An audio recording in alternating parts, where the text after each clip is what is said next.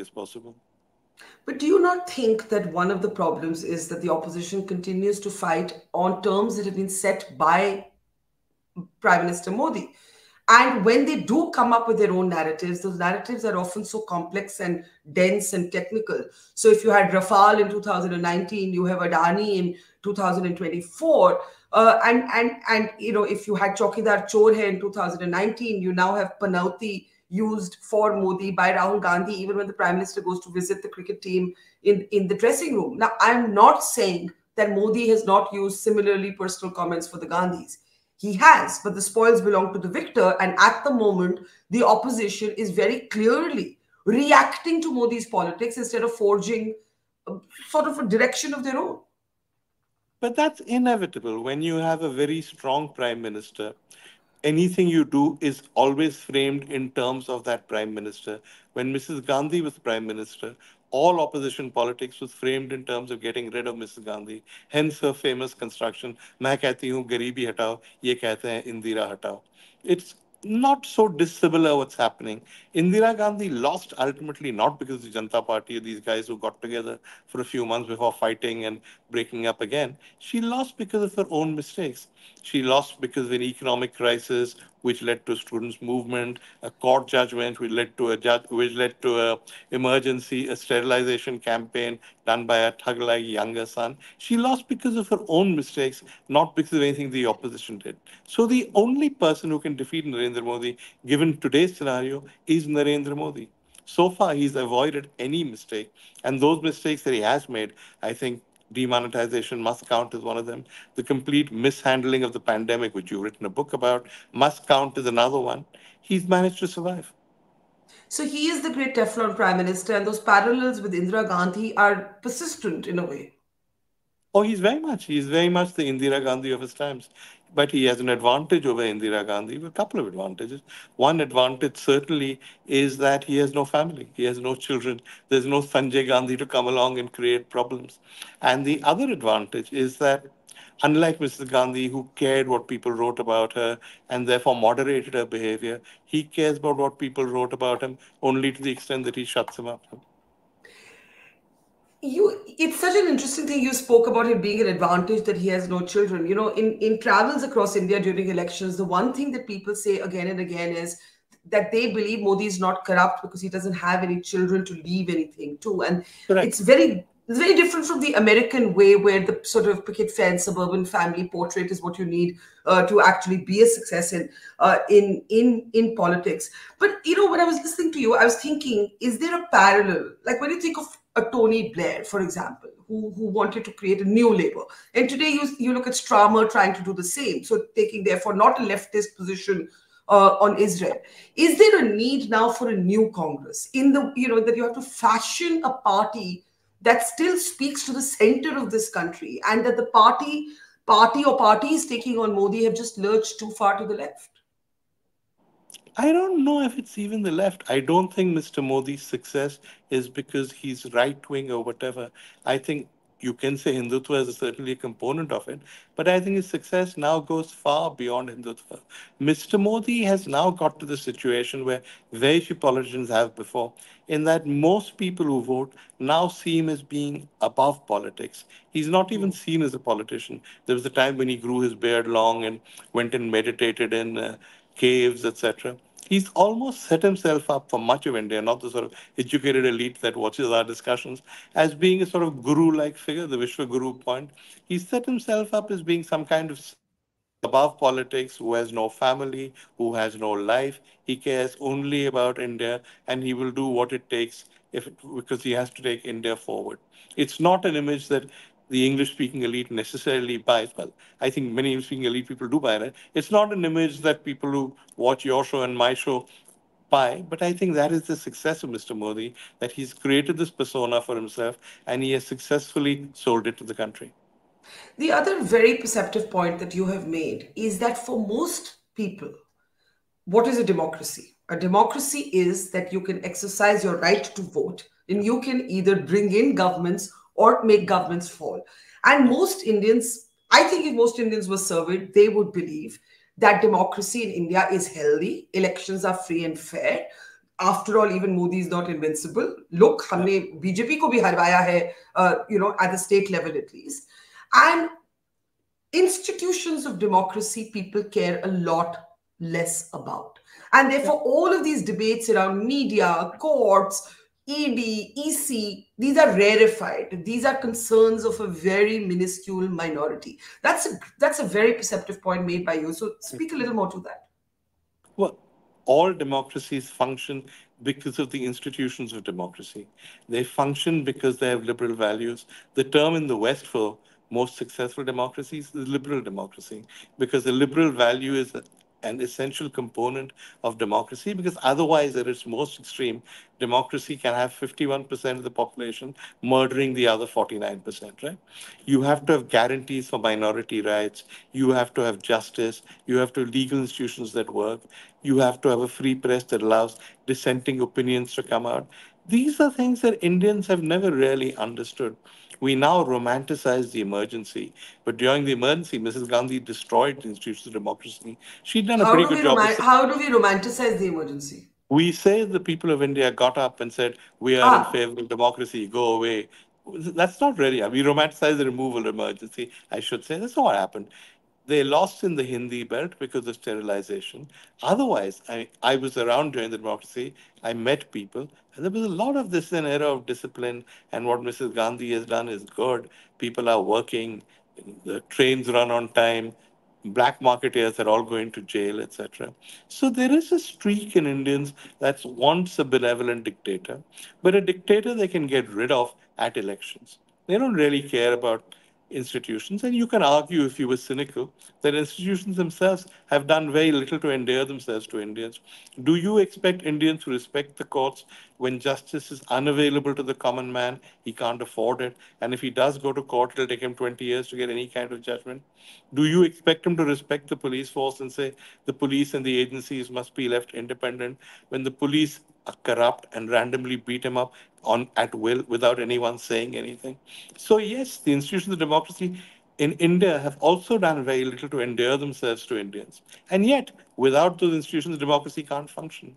But Mr. Modi, I think, has clearly realized that as long as he is in election mode, as long as he gives people the view that they can vote him out, that he's appealing directly to them, he's okay. They won't pay many attention, much attention to the institutions. And that's what's happened.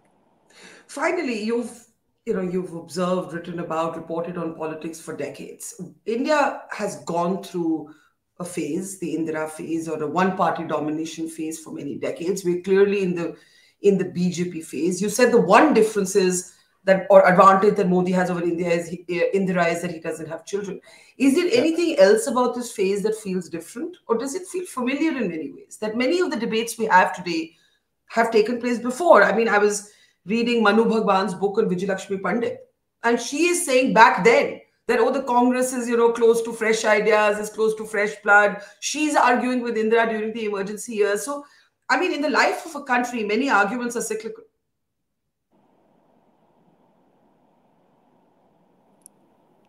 I've lost you if you can hear me. Okay. I, I, I, was just I was just saying in the life of a country, many of these arguments have taken place before. And I was talking about how Manu Bhagavan's book on Vijayalakshmi Pandit actually talks about Vijayalakshmi Pandit saying back then that oh the Congress is closing its doors to fresh ideas, to fresh blood, uh, you know, dissent is being uh, uh, sort of crushed. So I'm, I'm just saying in the life of a country, we've heard some, some of these arguments before but is there something about today that feels different from those moments? Well, I can only quote Arun Shourie, who said that today's BJP is Congress plus cow. We've not had that before. We've not had political debates about religion to the extent we have them now. We've not had people bulldozing the homes of Muslims at will without any legal sanction. Never before in Indian politics has the center had debates that have been framed so strongly in terms of religion and in terms of majority and minority. That's what feels different. And you don't think that's going to change with the third term? I see no reason for him to change. Why should he change? What there is a legacy that any prime minister would seek for himself or herself. What might that legacy be, you imagine, for Mr. Modi? I'll tell you how Mr. Modi sees it. Mr. Modi sees it as he is the prime minister who took India forward, who helped India become a technological superpower, who delivered prosperity to Indians, that to much of the middle classes, he delivered proper economic prosperity. To people who couldn't partake of it, he did welfare schemes and he gave them prosperity, which but you frankly can't deny. He will argue that he resumed non alignment, which had been dead since the Nehru days, that during the Ukraine conflict, he could continue to do business with Russia and be friends with America. That even now, in the Israel conflict, he's great friends with Netanyahu and with Israel, yet he's not fallen out with a single Arab country. So he will argue in foreign policy terms. He gave India a presence on the world stage and a position that it had not had since the early days of non alignment. Isn't the Arab outreach in particular fascinating? I mean, there is Yeah, going to be an inauguration of a big temple in Abu Dhabi in this same month. And yeah. the point is that you have Muslim leaders of the Arab world who seem to genuinely, not only for transactional reasons, have a pretty decent rapport with the prime minister. Yeah, I think you, the thing you've got to learn about the Arab world, and we've seen this all the time, is that when it comes to Muslims elsewhere, it's not necessarily that concerned. I mean, you remember when Yugoslavia broke up and you had the Bosnian conflict. I didn't see very, very many people calling for jihad on behalf of the Muslims who were affected by that, and many Muslims were affected by that.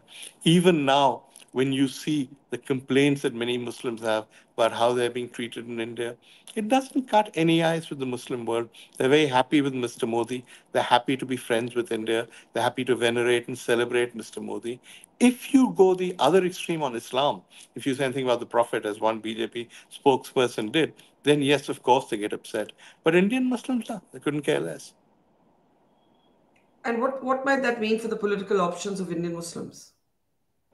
Well, for, for, for a start, what about the objections or the options of the Hindus? For a long time, Hindus have been fed this idea that Muslims have a pan national identity, pan national loyalists, that there is a global Islam that will envelop us. There is no global Islam. You can do what you like to Muslims in this country, and no Muslim country is going to co- no Muslim country abroad is going to come to their aid. They will treat this as India's internal matter. I think we have to realize that But that's right too, right? That's correct too. I mean, from an Indian yeah, but but perspective, that's I, not but, but I, I that's I don't think be no. thrilled I, at I I have no problem the with that. All Americans I'm saying lecturing us.